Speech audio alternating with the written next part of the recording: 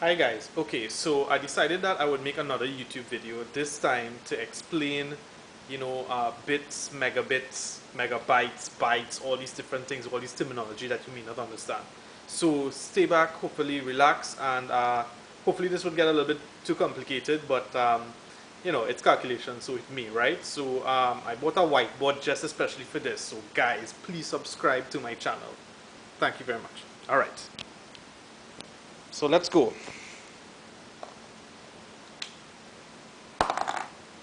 So in in the world of IT, everything the, the, the smallest unit of representation is actually a bit. So a bit, one bit, is either a zero or a one. Now, the whole reason this came about actually with zeros and ones, if you don't know about it, is that current AC current, that is, AC current is a wave. So the wave goes something like this. The axis is here. And if you notice, the up would be like, okay, so this would be like 0. So it would be like 1. And then 0 again here, 1. 0 again here, 1. Right, so essentially, what uh, what ended up happening is that they had to basically use the AC current and convert this into some you know electronic format. However, they had to do this in order to make a computer, and that's how they came up with the bit. So a bit. Let me just erase this AC current because that for sure we're not going to use after this. So this was you know just giving you a little background on it. Right. So basically you have a bit. So the bit is the smallest measurement of unit. It is either a zero or a one. Right. So and I'll, I'll, I'll, I'll try to tie this thing back up all together afterwards, right? So there's one bit. So essentially, one byte, actually eight bits, make up one byte. Now you might wonder, well, what one byte is? Really, you could think of one byte as being like a character. So for example, the character A. Let's say there was a character A. Let me go across on the corner here.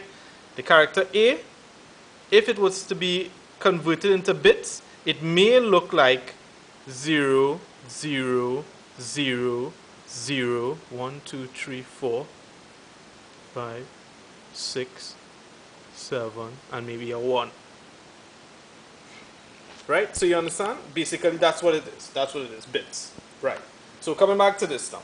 So, one byte is sort of like a character, if that makes any sense.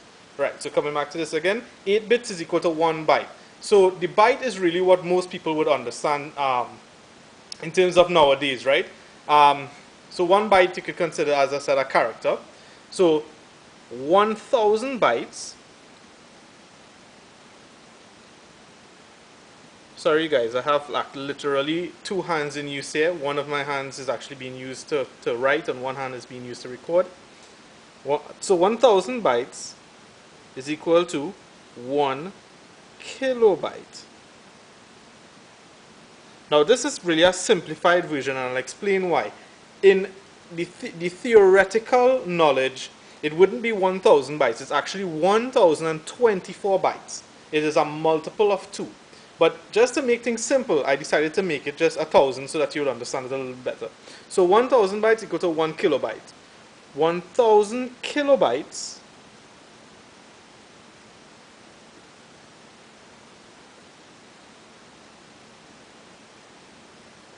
is equal to 1 megabyte.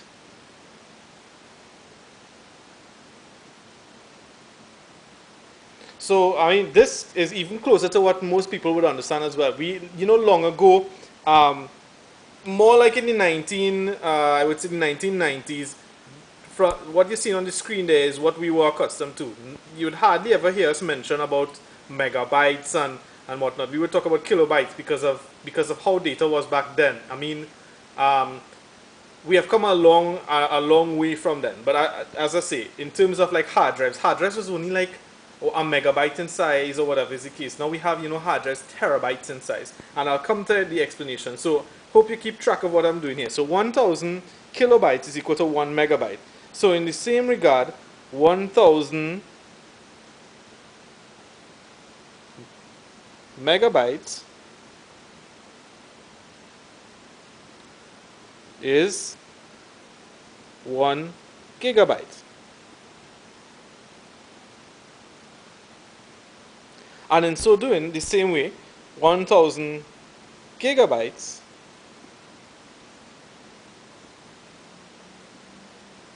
one is one terabyte. Now, why am I saying all this and why am I explaining all this? Well, nowadays the hard drives are, in, uh, are normally considered in, in, terabytes. So we, generally speaking, a commodity hard drive is, is now uh, between one to four terabytes. Um, and I will explain, and, and I'll try to put this in perspective too, but let me just also mention that a byte is represented as a B.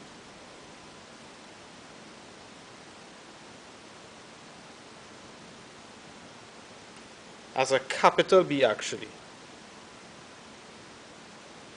Kilobyte is K capital B. Both are capitals. Megabyte, same thing. M capital B.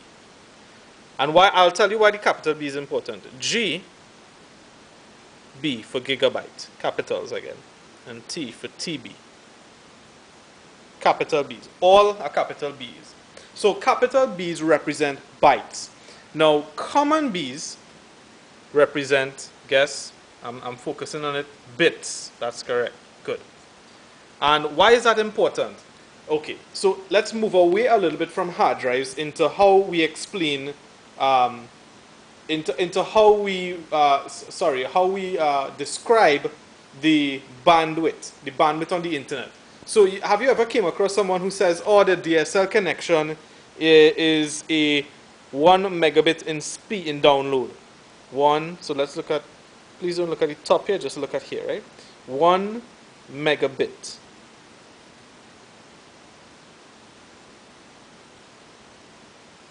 per second. Now, as, as you said, remember, as I said, one bit is the smallest unit. One byte is 8 bits. Now, we're talking here about bits. So, to the average user, they're thinking, oh, well, this is 1 megabyte. But truly, it is not 1 megabyte. In order for you to understand what 1 megabit per second really is in terms of a download speed, you would have to take the 1 megabit which is really um, a thousand one megabit would be a thousand kilobits right so one megabit one megabit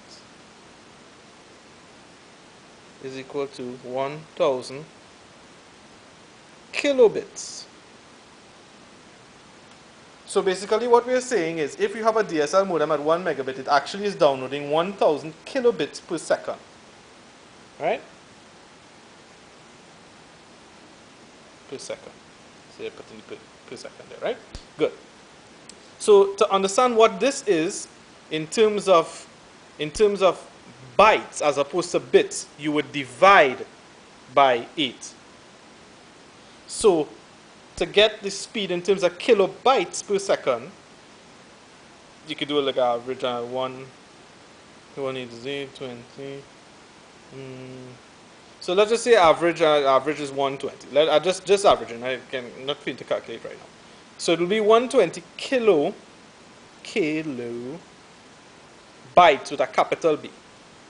And this is what we are accustomed to. And the reason why we are accustomed to things like kilobytes and megabytes is because, for example, if you were, if you were to download an MP3, for example, an MP3 um, would basically be, uh, what, what, what, what?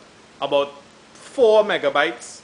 So let's say 4 megabytes. So let's put it in, into the into perspective of, um, let's download an MP3. So we need to understand how long it would take uh, 1 megabit DSL connection to download 4 megabytes of data. So in order to do that, let's check it back here. 4 megabytes is really 4,000 kilobytes, right? Now we already know from previously that 1 megabit is about 120 kilobytes per second. So we would just divide it in order to get the in order to get the in, in order to get the seconds because this is remember this is 120 kilobytes per second so we would divide 4000 by 120 kb and what that would do is that would give us the amount of seconds to download our mp3 which in this case is approximately and you know I'm using the line let's say approximately 40 seconds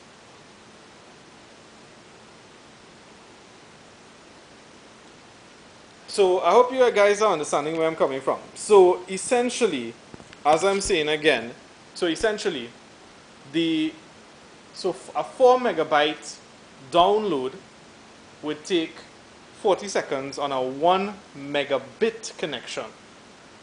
So a DSL, let's go, let's go back again. A DSL connection of 1 megabit actually doesn't download 1 megabyte per second. It downloads about 1 eighth of that. So the max you will get on the download is about 1 8 of a megabyte. So that is about 120, 125 kilobytes. Understand? And that's the difference because, because some people say, oh, they're downloading at 100 megabytes or they have a 1 megabyte DSL connection, but it's really not that. It's they have a 1 megabit DSL connection. So don't confuse the differences between a bit and a byte. When you need to convert a byte to a bit, you multiply the byte value by 8. When you have to convert from a bit to a byte, you will take the bit value and divide it by 8 to get the byte value.